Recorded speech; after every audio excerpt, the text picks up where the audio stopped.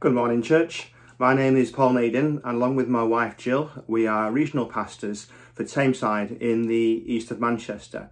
Today, I'd like to share some thoughts about the gifts God gives us to help the people around us, specifically spiritual gifts that the Holy Spirit gives us, which are powerful to strengthen each other and to change the course of our direction. About 30 years ago, uh, Jill and I had the privilege of being part of Pastor Glyn's dad's church uh, called Endeavour Christian Fellowship in Ashton-under-Lyne. Uh, Pastor Bryn uh, prophesied over me one day, and I remember where I was at, uh, that I would run my own business. At the time, I had no idea what that would look like. Very soon after, uh, an opportunity came my way and I had all the confidence and encouragement I needed to make that first step to start a business that would completely change the course of our lives. The Bible says that spiritual gifts are powerful and that we should pray for them. 1 Corinthians 14 says, Earnestly desire the spiritual gifts, especially that you may prophesy. It goes on to say, The one who prophesies speaks to people for their upbuilding and encouragement and consolation. We know that spiritual gifts grow with practice, so it's important not to give up if our first attempt isn't great.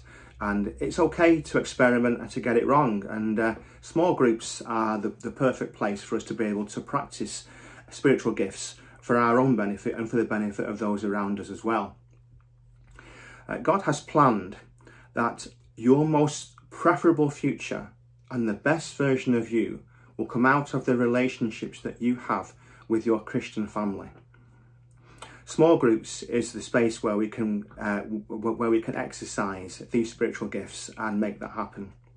I believe that our biggest FOMO, the fear should be this fear of missing out on small groups and what can happen there. Hebrews says, do not neglect meeting together for very good reason. Your small group needs you because you have unique giftings, both spiritual and natural, to strengthen the others in your group and even change someone's destiny. 1 Corinthians 14 says, Well, my brothers and sisters, let's summarise. When you meet together, one will sing, another will teach, another will tell some special revelation God has given, one will speak in tongues, another will interpret what has been said.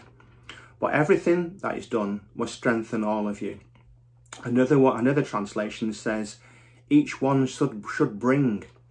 So let's be bringers and build the church that is has its extraordinary destiny to be the pure and spotless bride of Christ. Key thoughts, I think, for this morning are that God has tied my destiny into my relationships and also that I have a gift to help someone else. I hope you've enjoyed this morning. Thanks for listening. Goodbye.